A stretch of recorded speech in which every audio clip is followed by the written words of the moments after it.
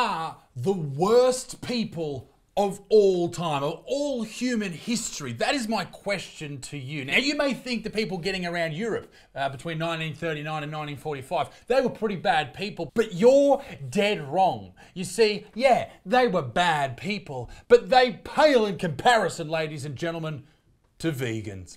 Yep. That's right. And vegans are back, ladies and gentlemen, more powerful than ever, all over TikTok, and that's what this video is all about. To make ourselves feel better about our lives by looking at these people and thinking to ourselves, thank the Lord, that's not me. All right, shall we? Before ever in this world a child of one religion is taught to hate or dislike someone of another religion, before ever a person of one skin color is taught to think low of someone else of a different skin color, Okay, so before anyone's taught racism or sexism or hatred or anything like that, before they're taught that as kids, before they're taught any of that, before ever a man is taught to raise his hand against a woman, the first form of violence and the first form of discrimination all of us were taught as children was I can't wait to hear this. speciesism. Shut your fucking stupid mouth.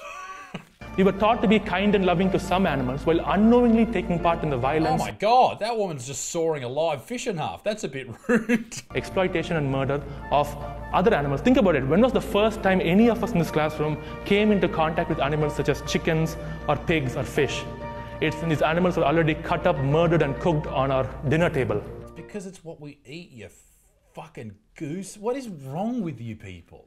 I don't get I don't understand how you can be so dense. You show so much cognitive dissonance. You know all of the facts. You know that human beings thrive on meat and have done for generations, thousands of generations. It's why we are at the point we are at. It's why our brains grew. And yet you just go, no. Speciesism. Fuck you to the moon. All right? No one cares. If cows were us, if cows grew big fucking sharp teeth and started jacking up humans everywhere, do you think they'd give a shit? No. How do you guys feel when you watch these videos Oh. like Isaac Butterfield? Like I do like Isaac Butterfield, but like when you watch his content on you guys. I mean, I think it's great that he's talking about me, which leads, like, starts the conversation about animal rights and veganism. Okay, so this TikTok is asking Tash Peterson, vegan booty. If you don't know who that is, it's this lady. Look at these Look at them! The question, what does she think about me and my videos that I've made on her in the past? And I've made a lot. And the reason I've made a lot, not because I'm overly obsessed, but she's in the news a lot. And it would be remiss of me not to do that. And we've actually had a sit down podcast. Yeah, I saw that. We did have a sit down podcast and it was quite good. Um, the thing is, and what I wanted to do with that, like I know a lot of people wanted me to really go after her in that podcast and attack her, which I'm not going to do in my studio at you know some 20 something year old girl. I'm not going to start yelling at her. That's ridiculous. Um, that's just not me. But you know, the conversation we had was important because we took away from the character that Vegan Booty was and looked at her honest opinions about a lot of different things. And we understood after that conversation that she's just fucking batshit crazy and I'm not. But she, I, I, I will give her credit where credit's due. She genuinely gives a shit about animals, and I think that's really, really good. I think that's really important because there are a lot of animals that need help, just not the delicious ones. You know, he's he puts on a character Do not. I talk like this all the time, even when I'm at the shops. when he does those videos. Like, he was kind of just your average kind of guy. I'm not average. How fucking dare you? Invited us into his house and he was really kind. It's just that I am really kind. You're right, vegan booty. Thank you. we have that slight disagreement in our views, but at the end of the day, like he has, he said he's against factory farming of animals, Yeah. but he openly supports factory farming. That most animals are factory farmed. Yeah, I am against factory farming. In a perfect world, we would all hunt our food, and that animal itself would live an entire life without being around humans ever. But that's not reality. We all have to work jobs, we all have to put our kids through school, all that type of stuff. And that's just not going to happen, is it? We don't have time to go out into the wilderness and hunt, unfortunately. Factory farming is not good. Shoving tens of chickens into one tiny little cage is not good. It's horrible. There's other ways around it, okay? And there's better ways to farm. And I think we should do that more rather than just go, hey, let's never eat meat again, even though we're designed to eat meat and we thoroughly thrive off meat.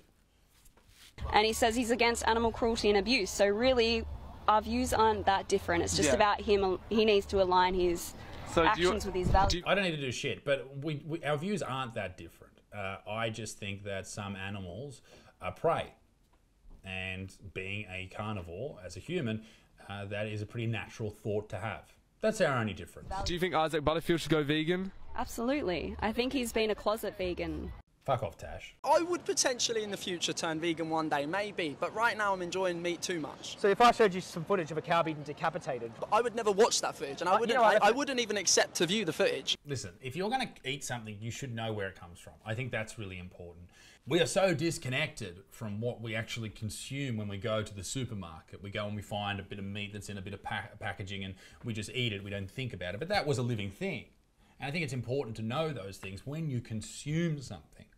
I go back to hunting all the time when I talk about things like this. Every hunter that I know, when they harvest an animal from the wilderness, they actually give a shit about that animal. They take it, they thank it for the meat and for the nutrients and for the energy and for continuing that system something lives, it dies, and it feeds everything else. Um, they really have that connection, and we just don't have that. That's just a disconnect. That's a disconnect that we've created over a long period of time through factory farming, through uh, supermarkets, and you know through modern society being the way that it is, where we all have to go to work at nine o'clock in the morning. We don't get home to five. We don't see our kids, and we don't have time to create our own food.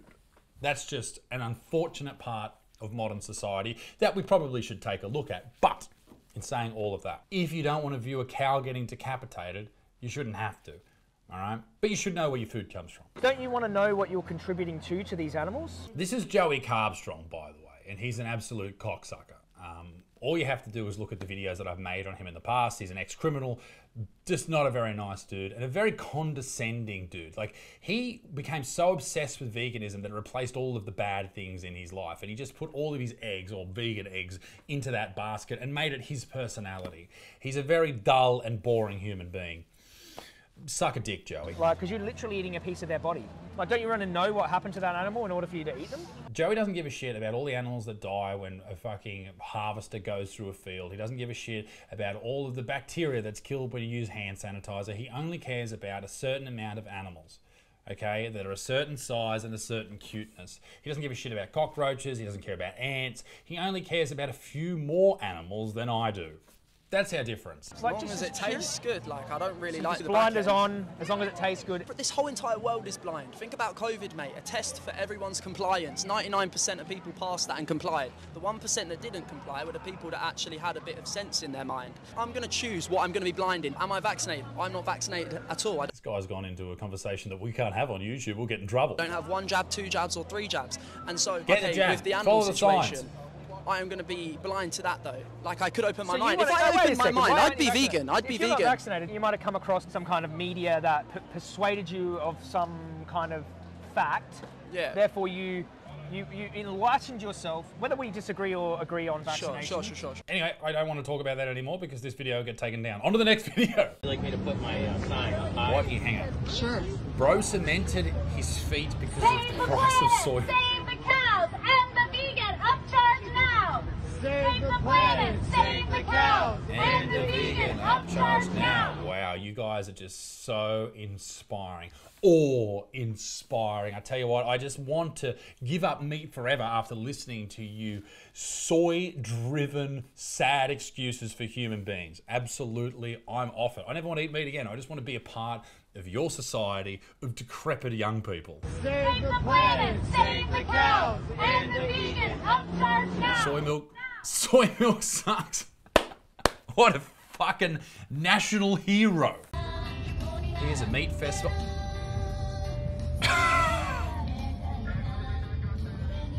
Jesus Christ. Peter shared this protest video. That baby is medium rare, and that's fucked up. Vegan protesters attack me for loving bacon. This is Mr. Sickant. If you don't follow him on uh, TikTok, you should. Uh, he's a comedian from Perth. You should go check him out. He's also got a great T-shirt that says "Fuck chickens, eat them." Fuck them, then eat them. That's how I do it. Anyway, back to his video. Stop gassing pigs for pork. Bringing attention to the gas chambers that are go- in use in slaughterhouses all around Australia. It's um, shocking what goes on behind closed doors, and we're doing a joint action all over. Why? the Why does it? Okay, let me ask this question. if you can find a way to kill an animal that's not painful, isn't that better? I, I don't know if gas chambers, and listen, don't make the connection between other gas chambers used through history. Okay, that's not what I'm saying. But if you can kill an animal that you're going to kill anyway, uh, painlessly with uh, some sort of some sort of gas that maybe knocks them out before they know what's going on. I don't know. Or is it do they suck the oxygen out of the the, the room and it sort of and they choke? That's not good. Uh, much better off using um, one of the, the guns to the head um, with the bolt. That's much better. There's better ways to do things. Like we just banned live export here in Australia, which is fantastic. Sheep aren't being sent over to the Middle East in the bottom of a fucking ship living in their own filth. They should be killed before they're exported. That's obvious, all right? But let's see what this dude has to say. It's shocking what goes on behind every closed door. I wouldn't want people to know what happens in my closed doors either. Who are you gassing, mate? That's what I want to know. But I'm saying there's got to be a hierarchy somewhere. Even if you go plant based, of course, there's a when you're when you're farming, you're going to kill a lot of insects, a lot of bugs, a lot of all that. Something's going to happen even if you're harvesting for plants. Which is absolutely true, and that's what vegans absolutely forget about every single time. And they will say, "Well, I didn't mean to kill that," but you still did it. You still fucking did it. Indeed, but I don't see why that justifies an increased amount of death. Okay, but if you want to get a whole field of wheat to make some little fucking burger patties for your Beyond Meat burgers, you're going to kill thousands and thousands and thousands of animals. If you take out one cow for a big old chunky steak, that's one soul. What about those insect souls? Will you think about them for a minute? No, I'm saying there's no alternative. What do we do? There is an alternative. There's plenty of alternatives to eating meat these days. But they're days. all shit and they're not good for you. They're terrible for you. Highly processed, terrible food. You're Still going to harm something, is what I'm trying to say. You're not intentionally harming Doesn't matter. Doesn't matter. them. You're not bringing something to. So manslaughter is not as bad as murder. No. if I would agree that manslaughter is certainly a, a step above ethically than, than murder. Yeah, sure. But it's still not great. But killing animals to, in order to. This bloke and his voice can fuck off, all right? He's got a very nice voice, but he's talking absolute shit. Is the equivalent of, of accidentally hitting a dog and deliberately mowing a dog down when they're trying to get away. But if you knew that that dog was on the road and you still drove through it, is that not murder? Because you know that these insects are going to die. You know that these these uh, mice are going to die, or these little tiny animals that are running around in the fields. You know that, but yet you still buy those foods and you still want those fields harvested. You know it's going to happen. I don't know there's going to be a dog down the road that I accidentally hit. It's different. No, but if you know there's a dog in front of you, because they, they know it, they know there's there's insects, bugs, there's a lot of. Don't have time to stop, or if there's no alternative t- than hitting the dog, say for example. This man hits dogs, is what I'm taking away from this conversation.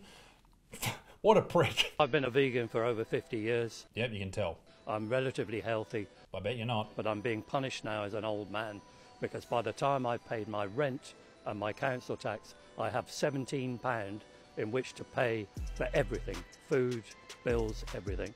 So I advise everybody now to uh, cut out the meat and revolt. What the fuck are you talking about? What is this? This is from Plant Based News. Cut out the meat and revolt. Hang on. Why are you. What? What is this? Okay, this. I think this comment explains it all. Poor guy spent all his money on avocados and now he's broke. It's a sad, sad world. It's a harsh world. Vegan man has to stop yapping. What's going on here? So is this the, is this the dude? He's walking along. He's been in the water. Okay, so we must be going after fishermen. That fish does not want to die. The fish doesn't want to die. It just wants to live just like you. Shut up, mate. You don't know that. I've heard all fish are suicidal. They shall be shown mercy. What mercy are you showing to Imagine this this. Imagine going for a swim or doing any exercise and pulling over to fucking yell at fishermen. You don't think it's violent to put a fish on a hook like that? What are you that? doing, And you bait it? fucking loser? This person right behind me, oh, he doesn't think it's violent to put a a fish on a Fuck hook. you, to live bait it. bro. Fish feel pain even more than humans. Their skin is really sensitive. Oh, I cannot watch that. Fuck that guy. Fuck him. Okay, if that's you, fuck off. Okay, we've got vegan activists trying to shut down the UK dairy supply by buying all the milk. That wouldn't that right? Wouldn't what the fuck? Wouldn't that just make the milk producers create more milk with their profit? Fuck, there's some dumb getting around. Hi, my name is Isaiah Hernandez. I'm an environmental educator and the content creator of Queer Brown Vegan. Queer Brown Vegan. All right, hey, bro. And I wanted to share with you all why I support the plant based treaty. Tra- I can't even say it. The plant based treaty. I think it goes the Treaty of Versailles and then the plant based treaty up here. The plant based treaty to me means revolutionizing a new food system that has been heavily mechanized and very oppressive towards both humans and non human animals. Choosing a plant based treaty is actually the way forward for our sustainable future while working with corporations, governments, and nonprofits. If you genuinely believe that eating meat is ruining the environment, you've been fed a lie. That's, that's the honest truth. You've not only been fed a lie, you will believe anything and you are just desperate to belong to something. This is what happens when humankind removes religion. And I'm not a religious person at all. But we are so, it's so ingrained into our soul that we have to have something to believe into, almost a higher power. That's why people turn to veganism. It's the same with carnivores too. They love that shit. But with veganism, they're far more likely to be radicals. They're far more likely to be almost like a terrorist group. You know, the really full on ones. They all seem to be vegans. The ones that are trashing restaurants and carrying on like fucking idiots and getting in people's way and ruining people's days. They're all the vegans.